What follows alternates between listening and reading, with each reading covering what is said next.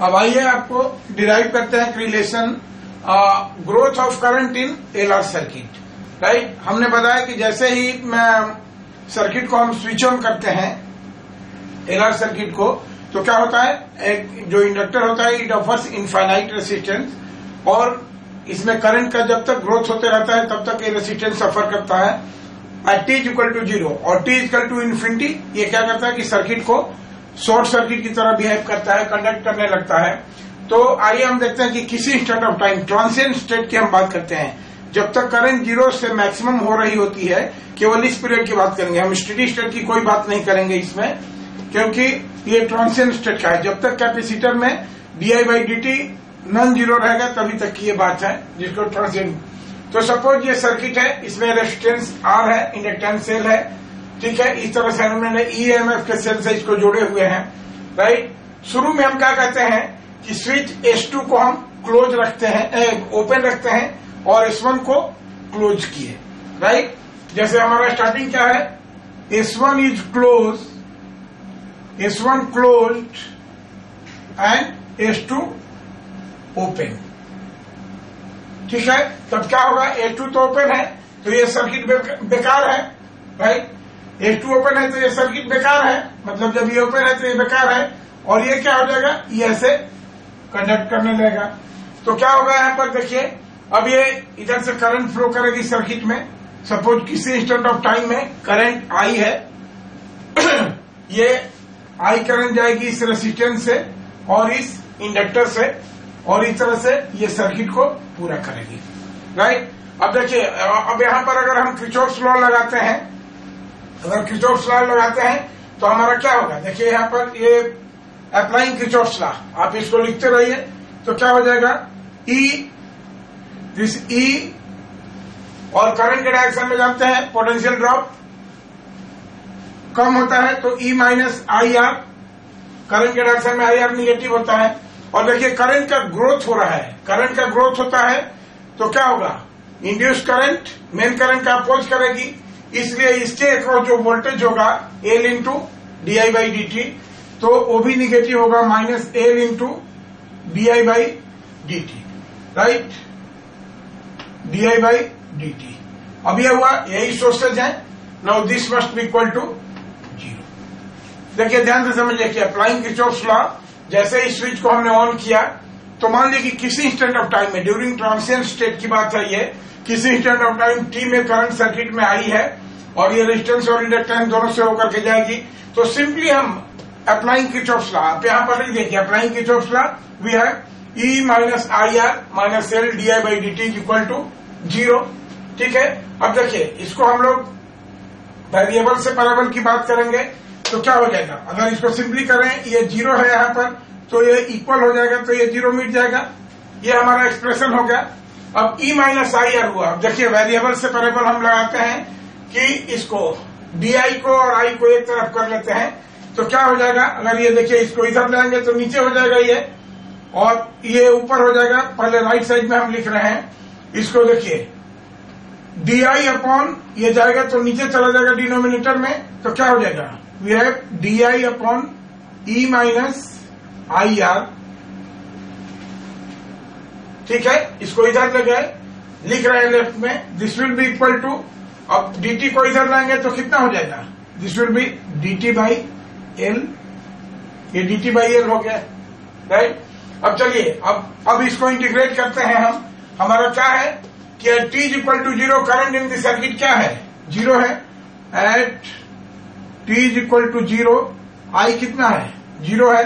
और मान लेते हैं कि at t is equal to t at t is equal to current I है, वो आई है current in circuit is I आप ऐसे लिखिए at t at any time t current in circuit is I है ऐसे लिखना अच्छा नहीं लगता है। Current in circuit is I right तो लिमिट क्या हो जाएगा? इंटीग्रेशन का लिमिट क्या हो जाएगा? देखिए, इसको जब इंटीग्रेट करेंगे हम तो क्या हो जाएगा? I t is equal to zero इधर में टी का है टी का ज़ीरो हो गया लिमिट और यहाँ क्या हो गया? आई भी ज़ीरो है उस समय। और किसी इंस्टेंट ऑफ़ टाइम टी में करंट कितनी है? यहाँ पर आई है। तो ये लिमिट हो गया। अब इसको सोल्व कर देना है।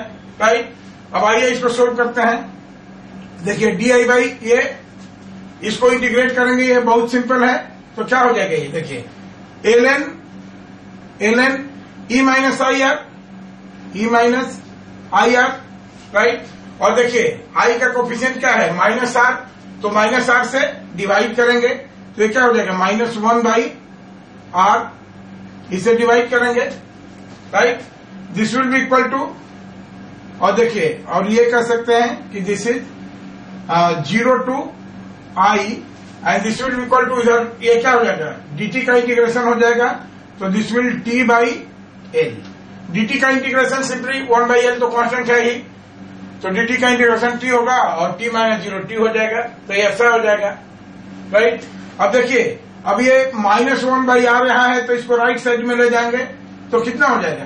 देखिए सिंपली ये हो जाएगा आर यहाँ पर चला जाएगा माइनस आर राइट ये हो जाएगा माइनस आर और यहाँ से ये minus one by R cancel हो गया, ठीक है?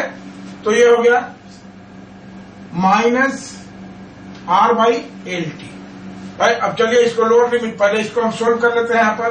तो क्या हो जाएगा? पहले अपर लिमिट तो क्या हो जाएगा? और एल एन देखिए अपर लिमिट आई लगाएँगे तो ये कितना हो जाएगा? E minus I R E minus I R और माइनस लोअर लिमिट तो कितना हो जाएगा? एल एन लोअर लिमिट में आई ज़ीरो करेंगे तो ये हो जाएगा L N E is equal to कितना हो जाएगा? Minus R by L into t और देखिए log M minus log N क्या होता है? लॉग एम बाई एन तो ये हो जाएगा simply this is L N E minus I R divided by E is equal to minus इसको R by L into t कर सकते हैं। और देखिए यहाँ से लॉग हटा रहे हैं। तो लोग हटा रहे हैं तो क्या हो जाएगा? देखिए, लोग हटा रहे हैं तो E minus I R by E अब इसको हम लिख सकते हैं। लोग भी हटा रहे हैं और इसको सिंप्लीफाई भी कर रहे हैं। तो ई बाई ई क्या हो जाएगा? वन माइनस और ये कितना हो जाएगा? I R by E one minus I R by E this will be equal to e to the power कितना हो जाएगा? देखिए यहाँ पर e to the power minus R by L into ये एक्सप्रेशन आ गया हमारा यहाँ पर। और इसी को सिंप्लीफाई करेंगे तो क्या हो जाएगा देखिए वन माइनस ये एक्सप्रेशन इधर आ जाएगा, ये इधर चलेगा तो प्लस हो जाएगा। तो आई इज़ इक्वल टू और आई इज़ इक्वल टू देखिए यहाँ से करेंगे। ये जाएगा तो क्या हो जाएगा, देखिए। I R by E is equal to one minus इतना हो जाएगा। तो ये हो जाएगा कितना? One minus one minus e to the power कितना हो जाएगा? अब देखिए, इसको हम ये लिख सकते हैं minus R by L into t अभी लिख रहे हैं, और ये कितना हो जाएगा? E by R E by R तो ये हो गया हमारा expression this is the expression I is equal to E by R E by R one minus e by e power minus R by L into t अब देखिए, अब इस circuit को थोड़ा सा और हम एनालाइज कर रहे हैं यहाँ पर। यहीं पर थोड़ा सा हम एनालाइज कर रहे हैं। देखिए, यहाँ पर एक्सप्रेशन हो गया हमारा क्या?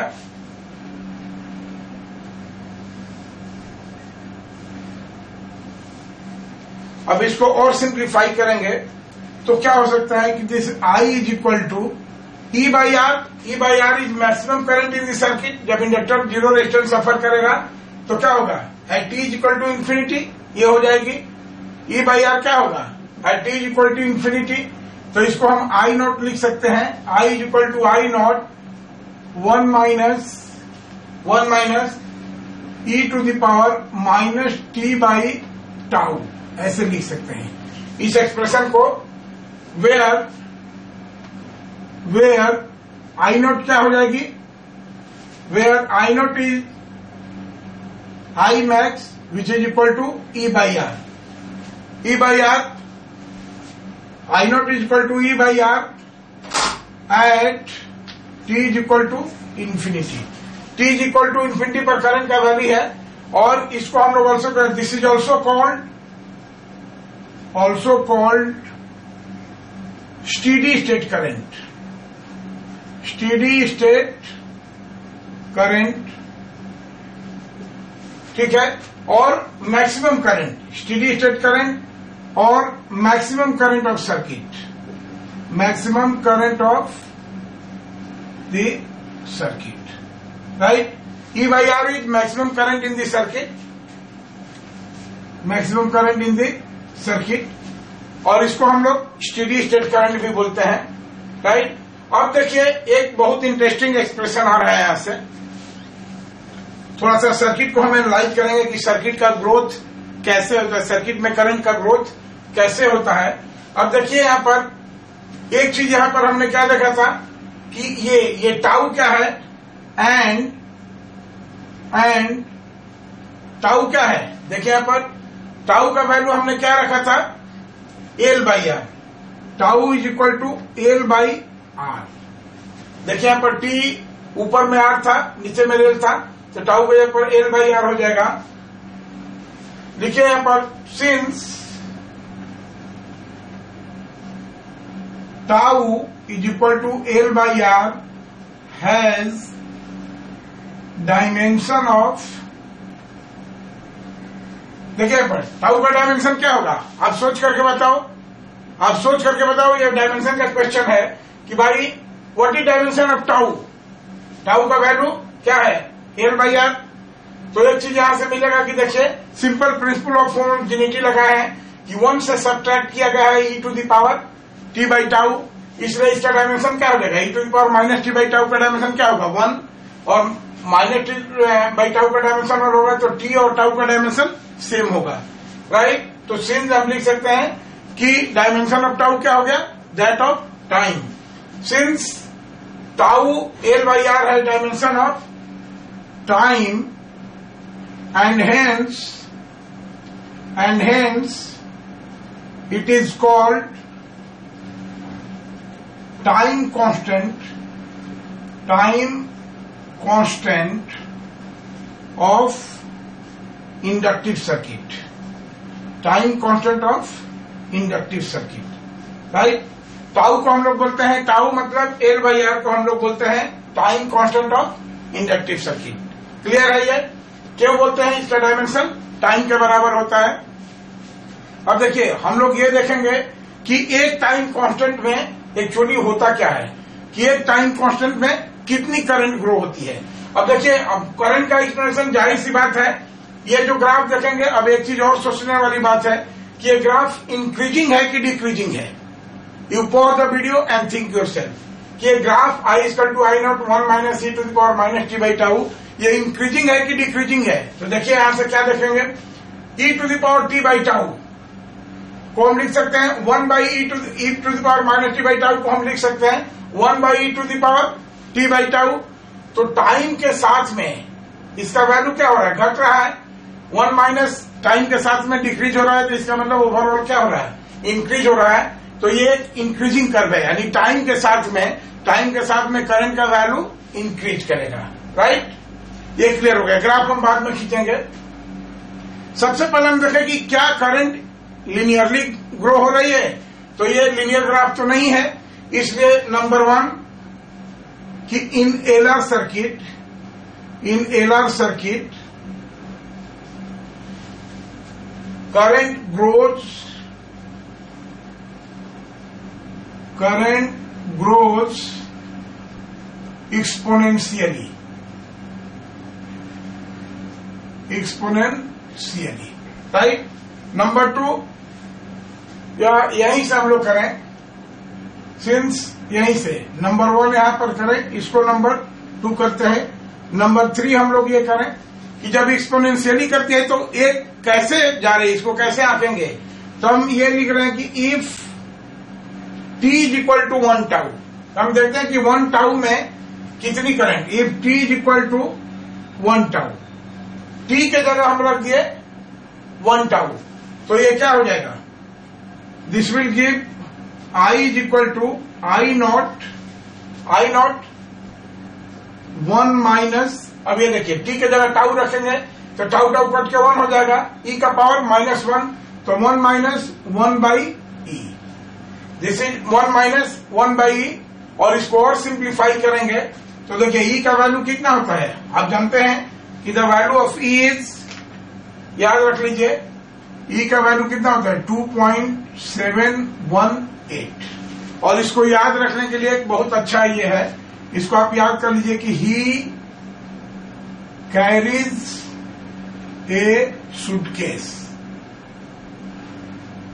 right he carries a suitcase he देखिए ही के लिए टू है यहाँ पर। कैरीज में सेवन लेटर्स हैं। ए वन लेटर और सुटकेस में एट लेटर्स हैं। तो आप कभी नहीं भूलेंगे ई का value he carries a suitcase और जब इसको सिंप्लीफाई करेंगे वन बाई ई का वैल्यू ये रखेंगे तो this come to be this will be equal to I is equal to देखिए ई का वैल्यू यहाँ पर रख दिए वन बाई का इसमें सिंप्लीफाई करेंगे तो ये 62.7 परसेंट या रफली इसको ये हम लोग कर सकते हैं कि this is point six three I naught right I is equal to point six three I naught इसका मतलब क्या हुआ? कि this implies that fourth point में लिखिए this implies that in one time constant in one time constant in one time constant current grows to 63% of its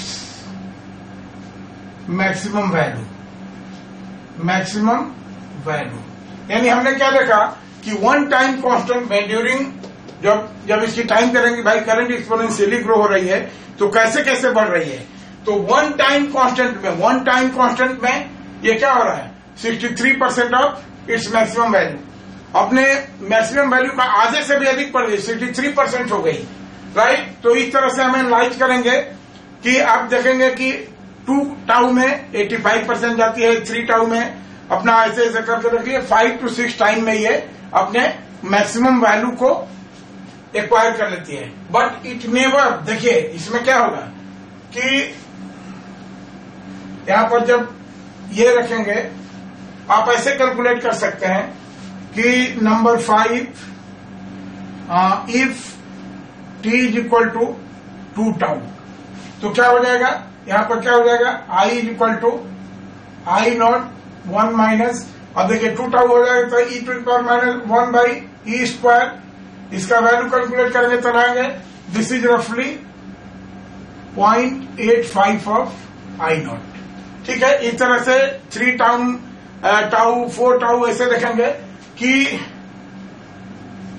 current grow to maximum grow to maximum in five to six tau five to six time constant में current अपने maximum value को acquire कर लेती है। But आप यहाँ से देखिए कि क्या ये कभी मैक्सिमम वैल्यू एक्वायर कर सकती है? यहाँ पर देखें, यहाँ पर देखें तो इसका वैल्यू क्या हो जाएगा? आई नॉट कब होगा? जब ये पार्ट ज़ीरो होगा, देखिए यहाँ पर आई नॉट आई का वैल्यू आई नॉट कब होगा? जब ये पार्ट ज़ीरो हो जाएगा, और ये पार्ट ज़ीरो कब होगा? जब one by t by tau का वैल्यू इन्फिनिटी होगा, देखिए थ्योरिटिकली हम सोचते हैं सेवेंथ पॉइंट हम लोग लिख रहे हैं कि I will be equal to I naught if क्या हो जाएगा? देखिए, ये तो वन है, ये पार्ट ज़ीरो हो।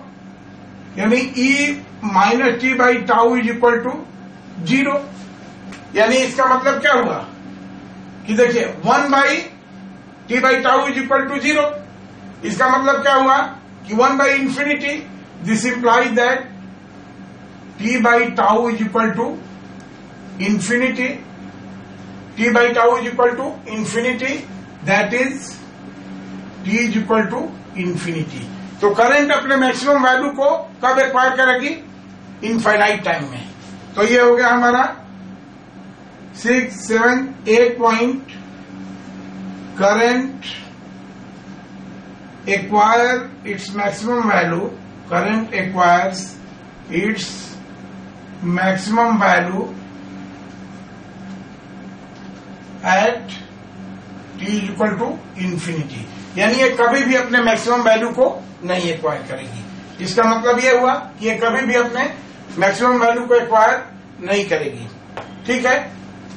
One more thing ninth point हम देखते हैं कि current I does not depend देखिए, यहाँ पर ये देख रहे हैं। यहाँ पर ये जो आई है it does not depend on inductance cell कि I does not depend, I does not depends on inductance inductance L I कभी भी इंडक्टेंस पर नहीं डिपेंड करती है। It is same I would be resistance R alone connected to the source of EMF e जानते हैं?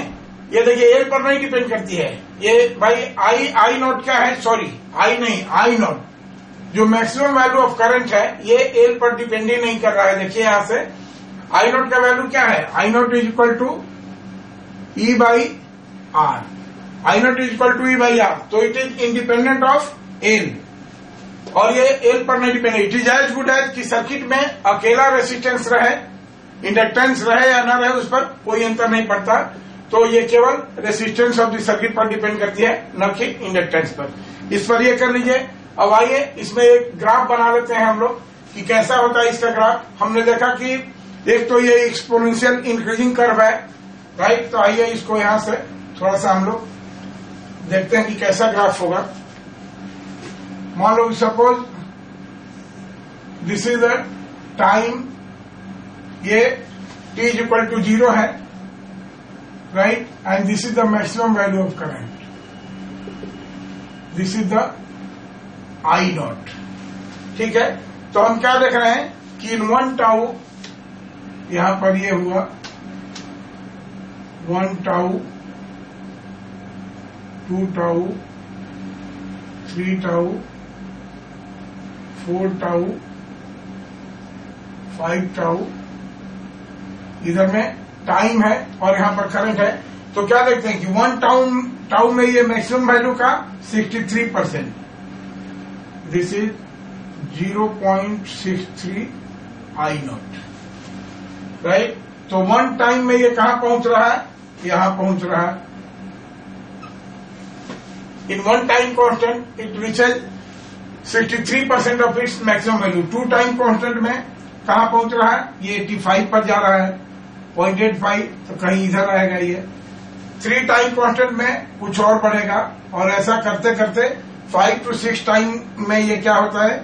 तो ये क्या होगा? एक्सपोनेंशियली ग्रोइंग कर्व है और यहाँ पर आकर के इट बिकम्स पैरल टू देखिए ये स्मूथ कर्व है। आप इसको ये कर लें।